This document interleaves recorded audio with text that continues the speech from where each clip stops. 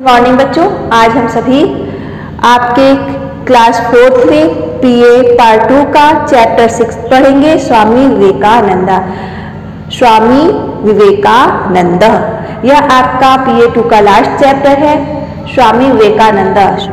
स्वामी विवेकानंद जो थे, इन्होंने भारतीय सभ्यता और संस्कृति का प्रचार प्रसार किया था।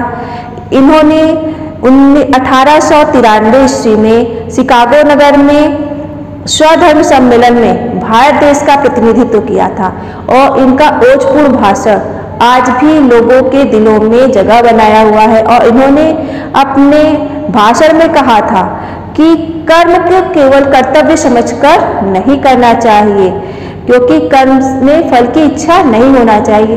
कर्म में फल की इच्छा नहीं होनी चाहिए और कर्म को कर्तव्य समझकर नहीं करना चाहिए कि मेरा कर्तव्य इसलिए इस कर्म करना चाहिए। कर्म को कर्म समझ के करना चाहिए। और इन्होंने हिंदू धर्म का प्रचार प्रसार किया था, भारतीय संस्कृति और सभ्यता का प्रचार प्रसार किया था।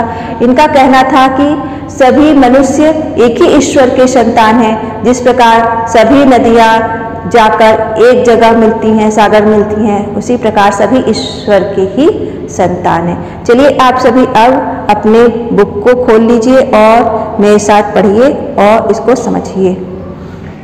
स्वामी विवेकानंद स्वामी विवेकानंद। युग पुरुष से स्वामी विवेकानंद से जन्म अठारह सौ तिरसठ कोलकाता नगरे अभवत। युग पुरुष स्वामी विवेकानंद का जन्म अठारह सौ तिरसठ ईस्वी में कोलकाता नगर में हुआ।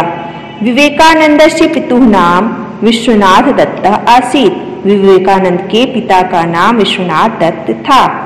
बाल्यकालादेव विवेकानंद मेधावी आसीत् बाल्यकालादेव विवेकानंद मेधावी आसीत् बाल्यकालादेव मीन्स बचपन से ही बचपन से ही विवेकानंद मेधावी थे सह तेजस्वी बालक आसीत वह तेजस्वी बालक थे तस्य मुखमंडले अलौकिका आभा आसीत उनके मुखमंडल पे अलौकिक आभा थी तस्य स्वभाव अति विनीता आसित। उनका स्वभाव बहुत ही विनम्र था। विनीता मीन्स विनम्र। उनका स्वभाव बहुत विनम्र था। बाल्यकाले तस्य नाम नरेंद्र नाथ आसित। बचपन में उनका नाम नरेंद्र नाथ था। कालांतरे सह स्वामी रामकृष्ण परमहंस से शिष्य अभवत। कुछ समय बाद वह स्वामी रामकृष्ण परमहंस के शिष्य हुए। Swami Vivekananda Sanskrit, German, Greek Hebrew, French इत्यादि भाषाणां ज्ञाता आसीत्. Swami Vivekananda, Sanskrit, German, Greek, Hebrew, French इत्यादि इत्यादि भाषाणां भाषाओं के ज्ञाता आसीत, ज्ञाता थे. Swami Vivekananda, Sanskrit, German, Greek, Hebrew, French इत्यादि भाषाओं के ज्ञाता थे। अनेक महाभागेन रामकृष्ण मिशन से स्थापना कृता अनेक महाभाग में रामकृष्ण मिशन की स्थापना किए। गुरु आज्ञानुसारेण भारत देशे सर्वत्र भारतीय सभ्यता या संस्कृति प्रचारम अक्रोत। गुरु के आज्ञानुसार यह भारत देश के भारत देशे, भारत देश में सर्वत्र भारतीय सभी जगह भारतीय सभ्यता और संस्कृति का प्रचार किए। भारत देश मीन्स भारत देश में सर्वत्र सभी जगह भारतीय सभ्यता या संस्कृति भारतीय सभ्यता और संस्कृति का प्रचारम प्रोत प्रचार प्रचार किया, प्रचार किए। गुरु आज्ञानुसार ऐसा भारत देश सर्वत्र भारतीय सभ्यता या संस्कृति प्रचारम क्रोध।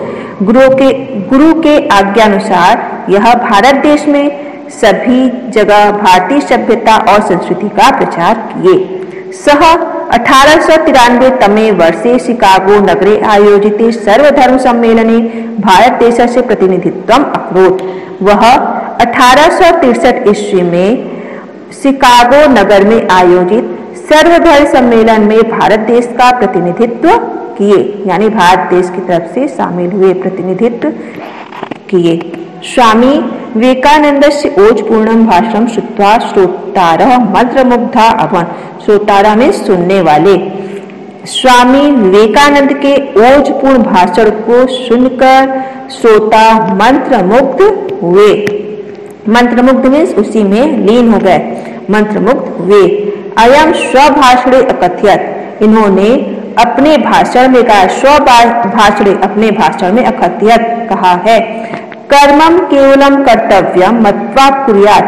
कर्म को केवल कर्तव्य, मानकर, मत करो, मत्वा मानकर या सोचकर कुरियात, करो। कर्मम केवलम कर्तव्य मत्वा कुरियात। कर्म को केवल कर्तव्य, मानकर, मत करो। कर्मे फल से इच्छा न कुरियात। कर्म में फल की इच्छा नहीं करो। स्वामी विवेकानंद से वाण्याम अलौकिका प्रतिभा आसीत। स्वामी विवेकानंद से वाण्याम अलौकिका प्रतिभा आसीत। यया श्रोतारः आत्मविस्मृता भवंति इसम। स्वामी विवेकानंद के वाण्याम वाणी में स्वामी विवेकानंद के वाणी में अलौकिक प्रतिभा थी। यया जिससे श्रोता आत्मविस्मृता मंत्र मुग्ध भवंती इसम। हो गए थे। इसम में जहाँ भी इसम लग जाता है, वहाँ क्या हो जाता है आपका? भूतकाल हो जाता है थे लग जाता है। तो यहाँ भवंती इसम हो जाते थे। भवंती में होना तो भाव में सोना तो यहाँ हो जाते भवंती इसमें हो जाते थे। इस लाइन को फिर से देखिए। स्वामी विवेकानंद से वर्ण्याम अलौकिका प्रतिभा आसित। यया श्रोतारा मंत्र विस्मृता भवंत इष्म स्वामी विवेकानंद के वाणी में अलौकिक प्रतिभा थी, जिससे श्रोता मंत्र मुक्त हो जाते थे।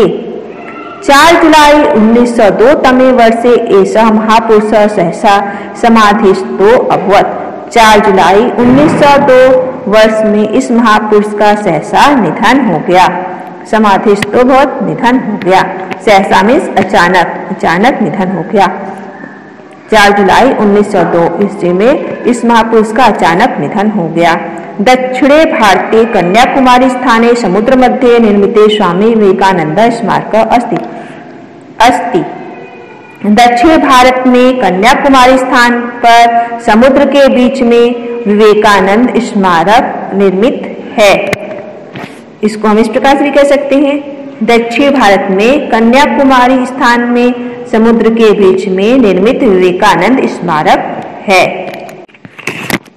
धन्यवाद। इस प्रकार आपका यह अध्याय खत्म होता है। आप सभी इसको अच्छे से पढ़िएगा और इसके अभ्यास प्रश्नों को बुक में ही फिल करिएगा। कॉपी में आप सभी चैप्टर शुरू करने से पहले पिक्चर ड्रॉ कर लीजिएगा। उसके बाद शब्दार्थ, प्रश्नोत्तर तथा हिंदी या संस्कृत अनुवाद जो भी आपको दिया जाएगा, उसको आप कॉपी में करिएगा।